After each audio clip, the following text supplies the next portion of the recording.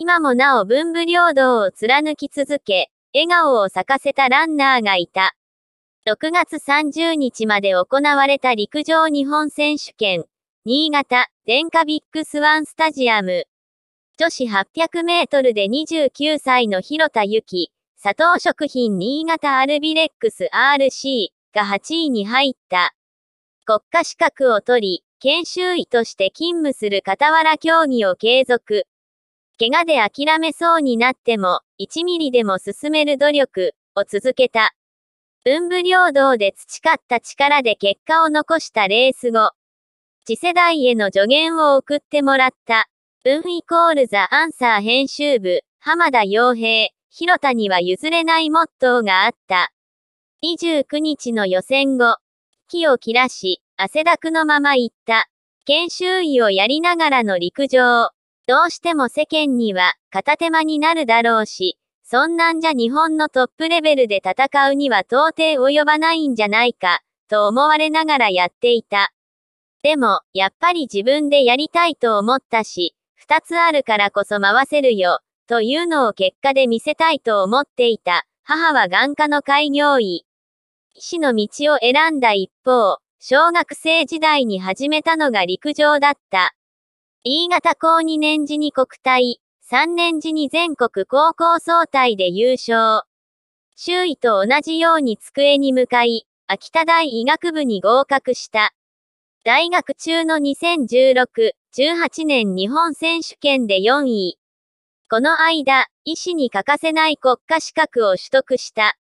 無駄なく効率のいい練習を追い求めてきました。同じ1時間でもすごく強くなれそうな、かつ嫌なメニュー。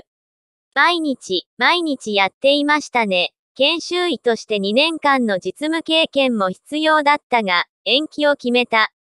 東京五輪を目指すためだ。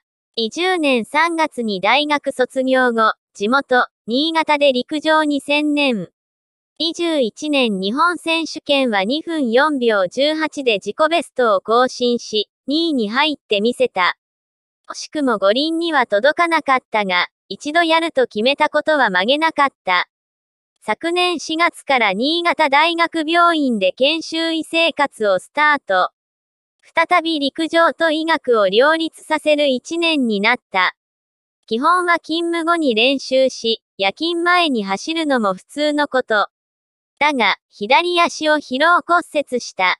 リハビリに励み、1日24時間じゃ足りない、と SNS に綴った夜もある。栄養バランスを考えた弁当で自炊。帰宅後に寝落ちするほどの疲れがあっても、広田先生、と呼んでくれる患者の声を原動力にした。怪我や練習のせいで仕事がおろそかになりそうな時も、その中でどうやるか。自分で二つともやりたいと思ったから今の道がある。自分で決断したことを正解にするつもりで、諦めないことが大事。日本選手権を視野に入れた今年4月にレース復帰。2分11秒72とタイムを出せず、しかも今度は左アキレス腱を痛めた。今、何ができるのか、頭をフル回転。パワーマックス、と呼ばれるエアロバイクでひたすらペダルを漕いだ。多くのアスリートが悲鳴を上げ、嫌がる過酷な無酸素運動。死ぬほどやりまくった。毎朝、市内の白山神社で神頼みまでした。